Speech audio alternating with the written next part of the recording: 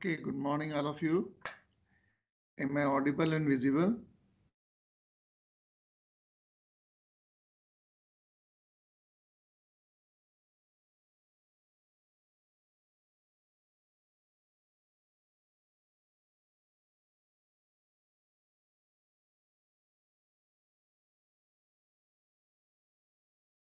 Hello.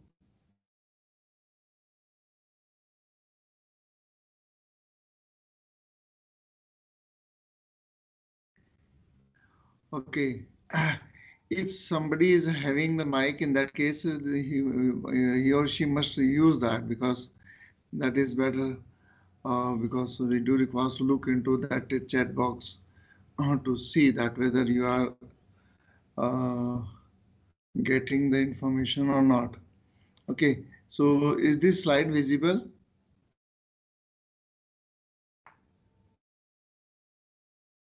Yes, sir, it is visible. Okay, uh, so uh, if I make this large, so uh, tell me that now is it visible?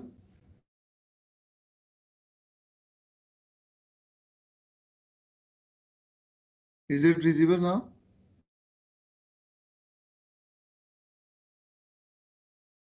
Yes, sir. Okay, so today we shall discuss about this important part of this uh, uh, probability based flow analysis. Basically what happens that in the embedded system device when we are having a different type of the components and we do require to emphasize that the efficiency of the device must be uh, enabled. In that case, we do require to look into that uh, how much that uh, uh what are the core, uh, what are those code or that statements which are required to be executed and what is the frequency of using those. Uh, part of uh, the code which may be having an exhaustive processing uh, which may lead to a problem to the device. Now having such type of the scenario we do require to look into that having a particular device which is which is a resource constraint and the amount of the data which need to be performed in that case we do not know based on that data available so that how for how long that will have to continue that type of the operation. It usually happens that when we make a simple C type of the programs and there are the certain type of the conditional statements which requires to determine that the type of the operations that need to be performed based on that condition uh, fulfillment in that case for how long that condition will get, be continued and uh, how much amount of that uh, uh, processing power or the computational power that need to be performed by the device. So here is an example of this that uh, we have a different type of the statement as listed that a is equal to a plus 1 for b is i is equal to 1 to 10 uh, b is equal to b plus 1 c is equal to c minus 1 so as you can see minus a so you can see over here that some of this initial data that need to be assigned and we require to perform certain computations for the 10 number of the time. Now we require to look into that what is the status of this A and if D is greater than A, D is equal to D plus 2, else D is equal to D plus 3. So as you can see over here, this A is uh, the initial value of A. If that does not match and we have the probability of the 50-50 that whether that because it is a, a logical condition that uh, if a is d is, equal, is greater than a or not so in this case we uh, we do uh, this is a simple comparative which is either yes or no so in that case uh, we have the 50-50 type of that probability which may be assigned and look into that uh, which type of that operation so that device would perform and then after compute, computation of that it will have to return to the next point. So here this diagram shows uh, that uh, having such type of the instruction uh, we can perform and uh, various type of that stages that can also be shown over here. You can see that the each of this uh, point is having a uh, each of these having a some exit point or that uh, the level from transition from the one to the another node or uh, or the vertex over here. And the condition of this uh, condition of this uh, either be, from the two may be that it may switch to the vertex 3 or vertex 4 and from this vertex 3 and 4 it has to go to the vertex 5 now here the condition of this vertex 5 is that it has to repeat this for the 10 number of the time so the very first part of that is assigned for each and every of this is um, assigned that for how much this is to be executed. So the next is that the 90% of that would be the probability that it will have to go through that because the 10 number of the loop are there. So one is already been done and the rest of that nine will have to be continued. So in this way, we refine and define this type of that operations that will be performed by the device. So if you look into the flow for these equations, uh, as you can see over here, uh, the S will execute to once because this is an initialization part and uh, the V1 is again will be executed one.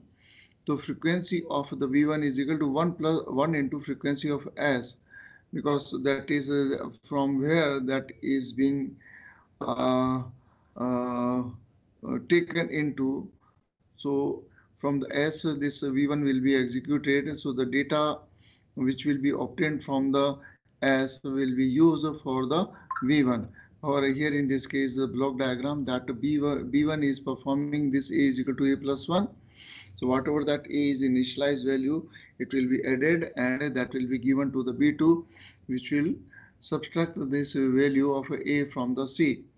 Now here in this case, you can see that this V1 is executed one uh, and that is represented as a frequency of V1 is equal to 1 into frequency of S. Now V2 is dependent on the frequency of uh, V1 1 because this is the very first part which is coming from the V1 and 90% of this part which is coming from the V5 because that is the loop for the 10 number of the time which uh, that we that it is being executed.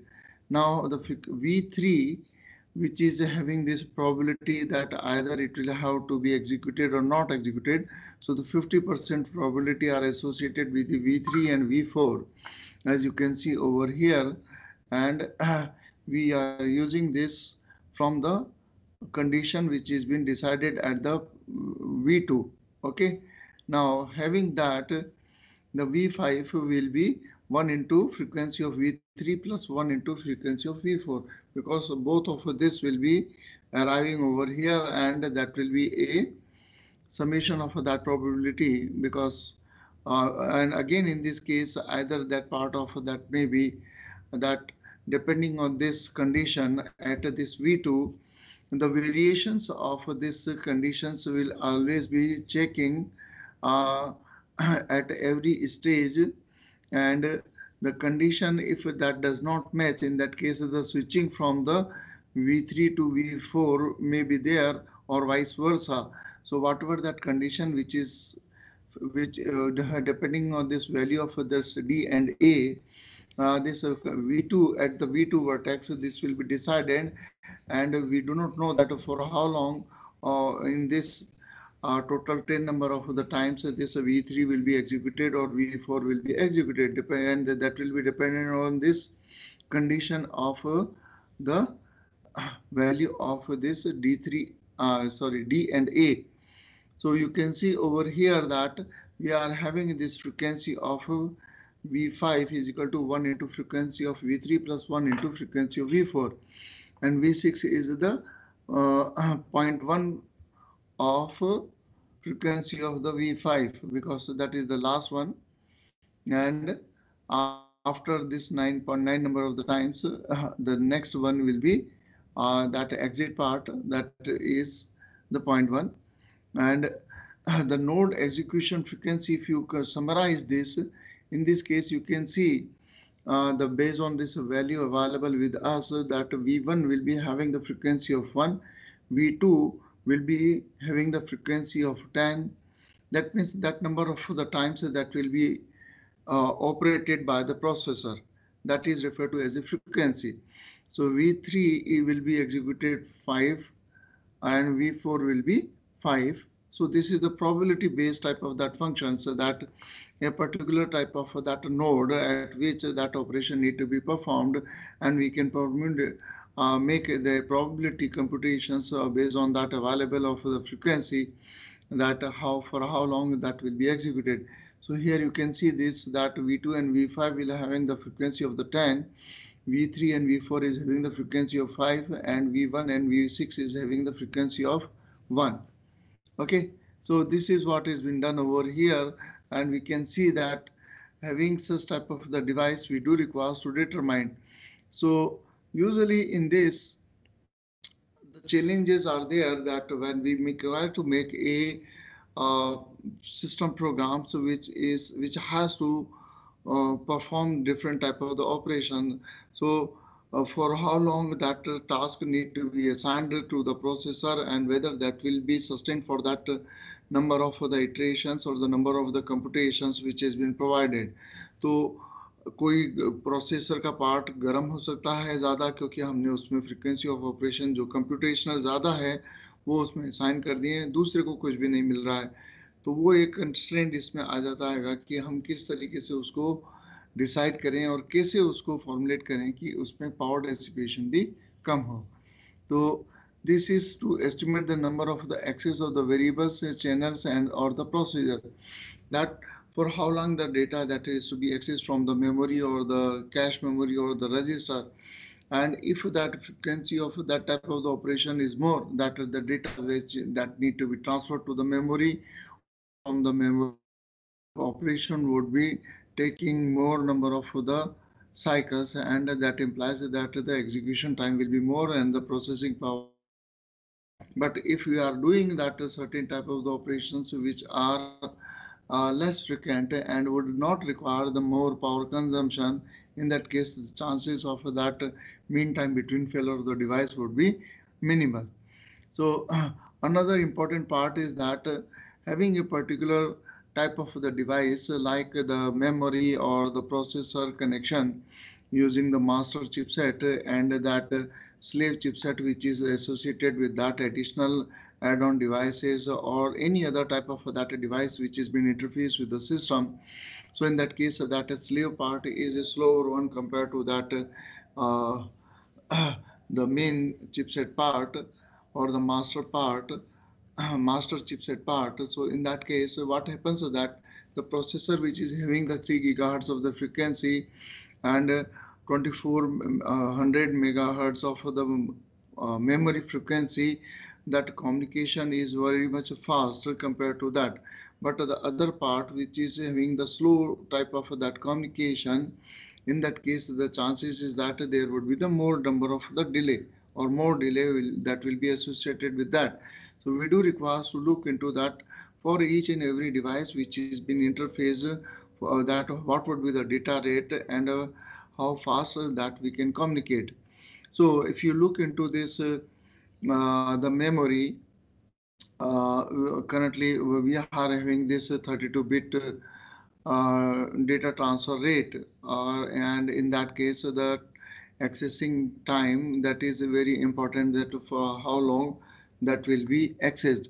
So as I said that having a uh, DDR5, we are having this uh, 2400 megabits per second.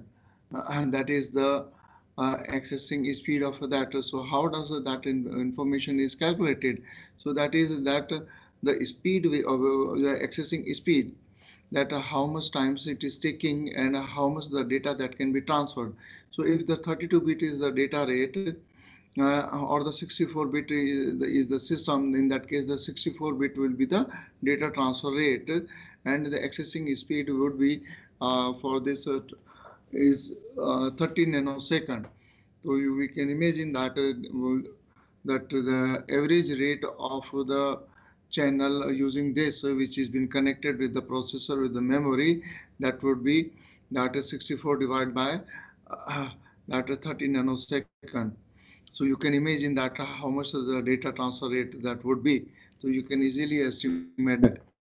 Now the peak transmission rate will be the basic data uh, transmission rate of the single message divided by that the total speed that can be transmitted. So here is that example that the channel is having the uh, accessing speed of the 100 nanosecond.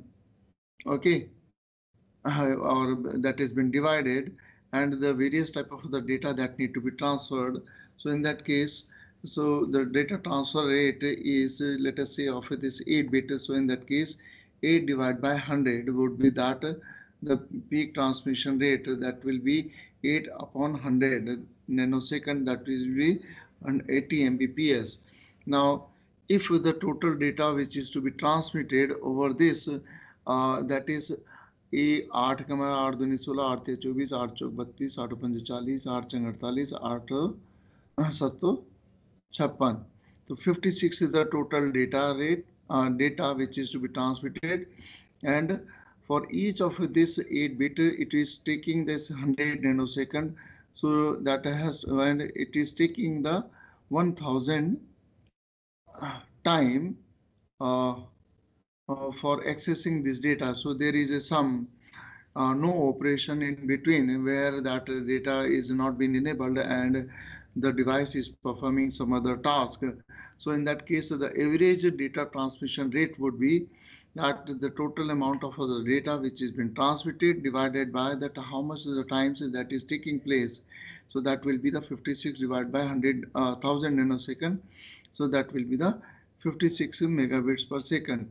So here you can see that the variations are there which are very much important to decide the efficiency of the system that what is the data rate or we have the different type of the terminology which has been defined.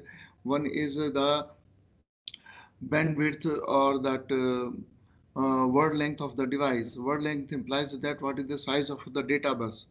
Okay, so uh, and normal scenario uh, like in this uh, complex instruction set computing type of the devices which allow us to perform the 8 bit to the 64 bit different type of the operations so the variations are there and you require to know that which type of the data upon which you want to make the perform performing performance or the operation and based on that the efficiency of the device can be computed.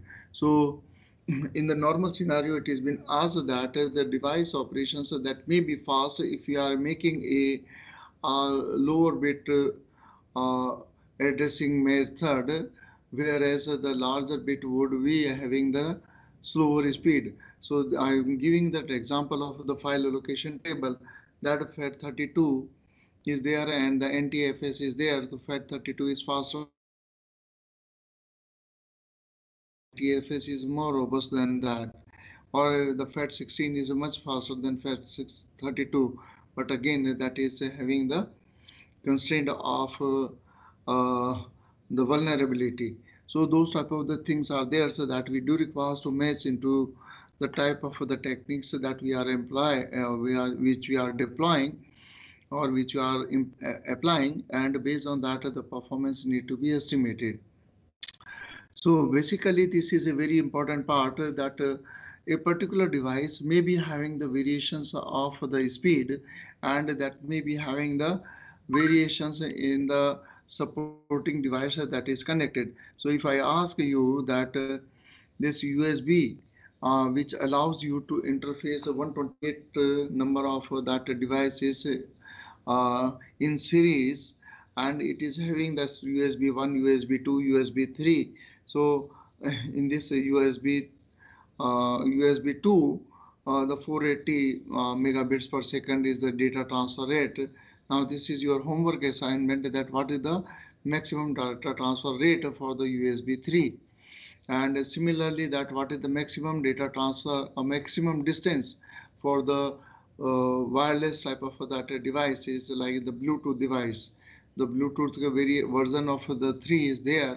So what is the uh, maximum data transfer rate and uh, because that uses the frequency of hopping technique uh, and allows uh, one uh, hop uh, or one frequency channel uh, allocates uh, that 1 Mbps of the data transfer rate. So any device which has been interfaced with the with the Bluetooth device or any other access point using this 2.4 gigahertz frequency. The so in that case, the Wi-Fi device which is which is which we want to connect. So in that case, of the frequency hopping either that may be one, three, or one, two, three, or five. you require to determine that uh, uh, what would be that uh, frequency nowadays which has been available for the uh, uh version 3 so uh, communications with the device is very much important uh, and that gives that efficiency indicates the efficiency and the performance of the device. And apparently it happens that any device which is which is being used in that case the larger the bandwidth or the larger the data transfer rate is desirable and that can be only achieved when the device performance is uh, the frequency of the operations that is fast and we have gone through that. There's a control number of the control steps uh, and the slack uh, um, uh, slack time should be minimal. And the frequency should be set in such a way that uh, we must have we must we the device would give or achieve the optimal utilization. And only in that case uh, the performance of the device would be better. So the precisions in this regard is to be taken into the account. So what is desirable that we must have the larger uh, uh, uh, data transfer rate okay? And we must have the uh, for that we do require to have the larger uh, data bus size okay? And if the larger data bus size because if the 32 bit is the external data bus size the internally the processor would execute that in the 64 bit size so the super scalar type of the architecture which is now being as internal core part of every processor which is having the two ALU. So address and data lines are separate. The data lines can be combined together and given to the processor in the two different uh, uh, ALUs, uh, which, uh, which is which allows us the super scalar faster computations, and that leads to have the better execution time. So uh, having a uh, data available readily for the executions in the memory or in the register, the system would be able to execute that in the fast, fast method. And if the data is stored back into the register itself, in that case, the chances of that would be much faster. Uh, unlike that is been done in the CISC processor, in the RISC processor, every instruction is having the uh, uh, equal size and that can either be executed in the one cycle or maximum two cycle. That implies that whatever that data uh, uh on which that operation need to be performed that will be computed in the single clock cycle and we have the better pipeline and the uh, uh, layer 3 type of that cache memory in that case the entire operation can be executed uh, in a uh, um, small number of that clock cycles. So unlike in the CISC processor, the variations of the cycles for execution of the different instruction is varying. Some instruction are executed in the two cycle or four cycle and again that is because of that variations in the size of that instruction. So we are having the uh, one byte, two byte, four byte, six byte uh, uh, and extended um, type of that because this is for the 8086 or 88 type of that uh, processor. Now you can imagine that the 32-bit or 60-bit or 4-bit type of that instruction if they are there. In that case, the larger data can also be transferred within that single this type of the instruction. So the performance of the device would get increased if you are increasing that uh, multi-operand type of the instruction, the data type, uh, and the speed of the operations upon which the device can perform and using that uh, the efficiency of the device can be easily estimated. So here is an example of this that we are having a different type of the data uh, which may be transferred uh, at the different rate and if that rate is been defined. So as I uh, as you are aware about this uh, 8085 microprocessor and you are also uh, get going through this 8051 microcontroller. So microcontroller is interfaced with the uh, clock external clock generator that is a quartz crystal or uh, that is connected to the 18 or 18 and 19 or 18 uh, pin number okay and eight zero eight five में ये one और to पर रहता है तो वो जो भी थ्री गीगा हर्ट्स की फ्रिक्वेंसी आ रही है that is divided by two using the T type of the flip-flop internally and that is given to the processor. Now, if the processor is connected with the, any other external interfacing device, so in that case, the divide by 10 or divide by 20 is given to that uh, in order to make the proper synchronization. The slowing that speed would make that assurance that the device which is interface may not lead to the problems and that may be able to execute that the data which has been transferred and the and that can be properly synchronized with the system.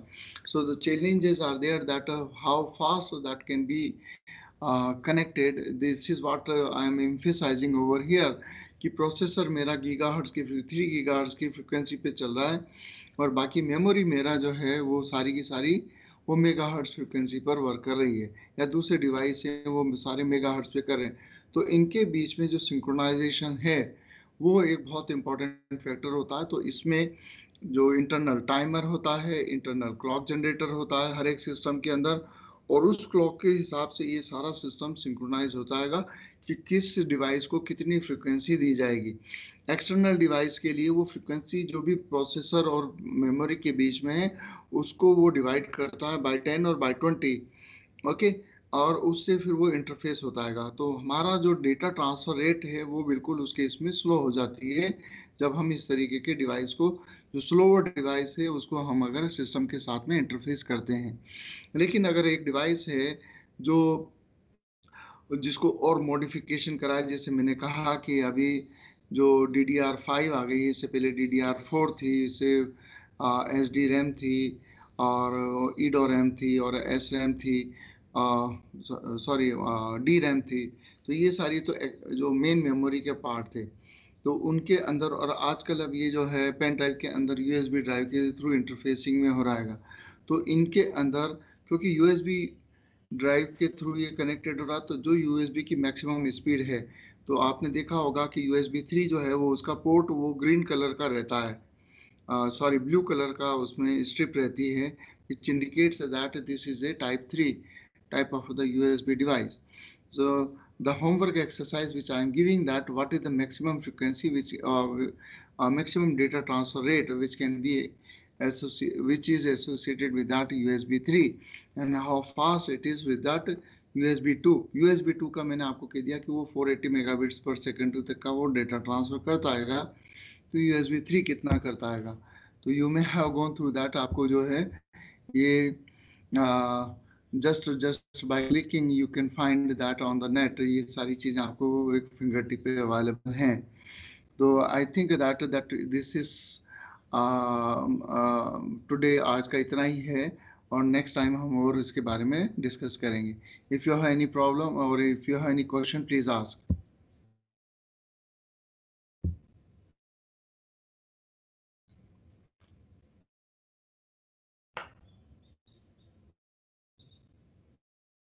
किसी को कोई question हो तो पूछ ले।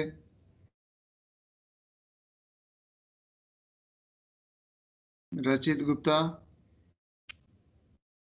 Adarsh Kumar. No sir no question Abdullah Jamal. Sir no question जो मैंने समझाया है जो मैंने बोला वो समझ में आया।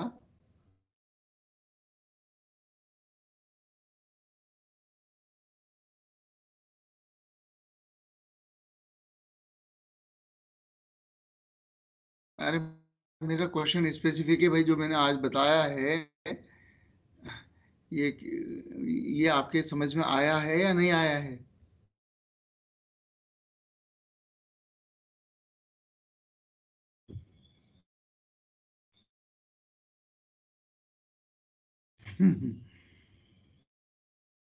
Abdullah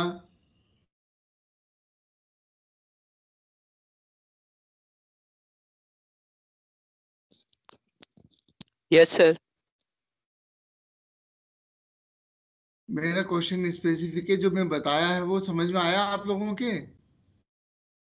Yes sir okay so if there is no question further I stop over here okay so the the part of that 8051 that shall be covered by Akash And if you have any problem in that case, you may ask that also. Okay, so pertaining to this 8051 and its uh, operation, how that can be implemented because pertaining to that the exercises that you will have to perform and uh, in this uh, a cross compiler of this 8051 that will be given to you or the Arduino uh, that Proteus software that, that will be uh, assigned uh, using which you can easily make uh, the all these different type of the programs that will be discussed in the class. So basically having a mm, simple type of the device which does not require any operating system and have its own internal memory and the control instructions that can be uh, stored within that uh, in a limited memory uh, uh, uh, we can make the device of functioning as per our requirement. So that is what that's uh, 8051 or its variations are very much important and we have the various type of the series available nowadays uh, for such type of the microcontrollers. So basically, this is a very much essential part uh, to discuss about this 8051, which is which is a part of the syllabus, where we are discussing that uh, uh, the basic type of that uh, uh, bitwise uh, enabling or disabling and the instruction and the timer and control or loop operations and the different type of the ports. तो चार port हैं जिसमें से एक dedicated है तीन जो है वायु के लिए यूज़ में हो जाते हैं और अलग ऑपरेशन इसमें कर लेते हैं। टाइमर अलग से हैं। तो हम कई सारे ऑपरेशन उसके थ्रू हम इजीली इम्प्लीमेंट कर सकते हैं। इससे रिलेटेड आपको एक्सरसाइजेज भी दी जाएँगी होमवर्क एक्सरसाइज दी जाएगी। और उससे रिलेटेड आपको the part of that which will covered next class तक का, है ना?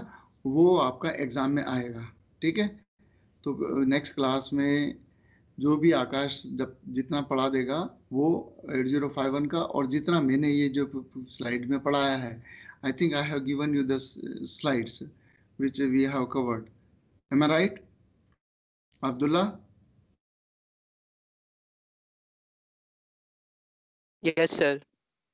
है ना तो ये स्लाइड सारी आपके पास में है soft copy of the book आपके पास में है और आप इसको अच्छे से पढ़ो और प्रिपेयर करो एग्ज़ाम की शायद 15-16 से आपके एग्ज़ाम स्टार्ट हो जाएँगे ठीक है